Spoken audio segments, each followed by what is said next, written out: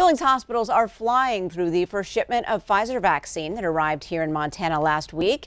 That's when St. Vincent Healthcare and Billings Clinic gave it to frontline workers and first responders as a priority under guidelines.